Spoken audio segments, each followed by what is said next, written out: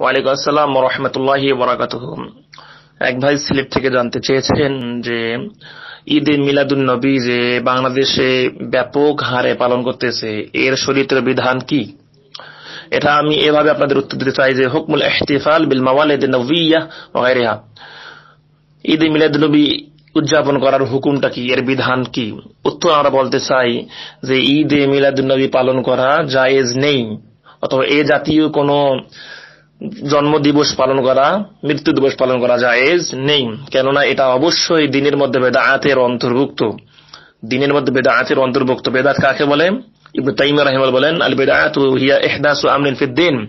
দিনের মধ্যে নতুন কোন জিনিস আবিষ্কার করা, মা লাম ইয়াকুন আলা আহাদি রাসূলুল্লাহ সাল্লাল্লাহু আলাইহি ওয়াসাল্লাম ওয়ালা আলা আহাদি সাহাবাতি রিজওয়ানুল্লাহি আলাইহিম আজমাইন। যেটা আল্লাহ রাসূলের যুগে সাহাবীর যুগে ছিল না, পরবর্তীতে সাহাবীর উদ্দেশ্যে পালন করা হয়ে থাকে।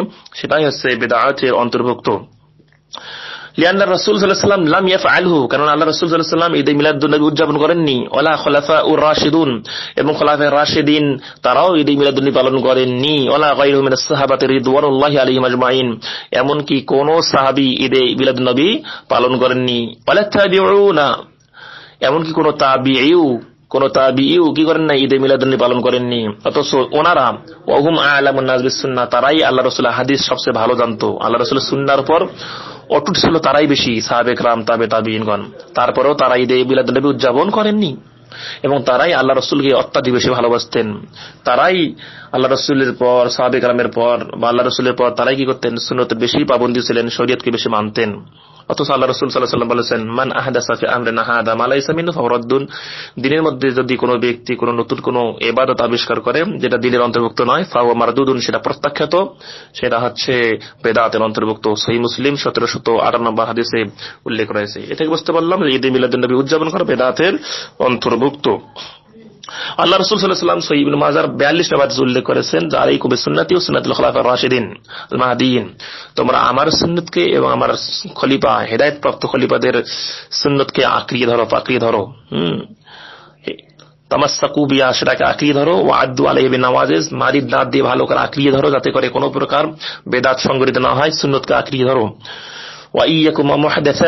তোমরা দিনের মধ্যে নতুন কোন জিনিস সৃষ্টি করা থেকে, আবিষ্কার করা থেকে বেঁচে থাকো। বেদা কারণ প্রত্যেক নব আবিষ্কৃত জিনিস বেদাত ওয়াকুল্লা বেদা আতিক প্রত্যেক বেদাতেই পথভ্রষ্ট। হাদিসটি সেই ইবনু মাজার বিয়াল্লিশ হাদিস উল্লেখ রয়েছে আল্লাহ রসুল সাল্লাহ সাল্লামকে আল্লাহ বলেছেন আমাদের জন্য আদর্শ হচ্ছে, আল্লাহ রসুল যা করেছেন তা করতে হবে, যা তিনি করেননি তা থেকে বেঁচে থাকতে হবে। সুরাত হাসর সাত নম্বর আল্লাহ রসুল আল্লাহ রসুল সাল্লামকে আল্লাহ রাবুল আলমিন একথা বলেছেন। আল্লাহ রাবুল আলমিন আরও বলেছেন, সুরাতুন নূরে তেসুর নুরায়াতে বলেছেন